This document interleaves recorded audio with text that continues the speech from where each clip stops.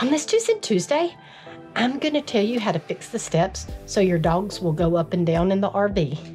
One, I know they're too big, and I would love to be a project to make three of them, but Aspen, our little dog, she got to where she would go upstairs and then she wouldn't come back down because she was scared she was going to fall because she would slip on the steps constantly. I ended up buying these little runners. They were like $14, $15, and I got like four of them. So if two of them because we only have two steps, or if something happened to one of them, that gave us extras.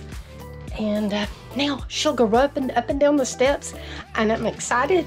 I know this was a quick two cent Tuesday, but I did want to tell you how to fix the steps for your dogs so that they would go up and down. They come in a ton of different colors, and I can add another decorative element.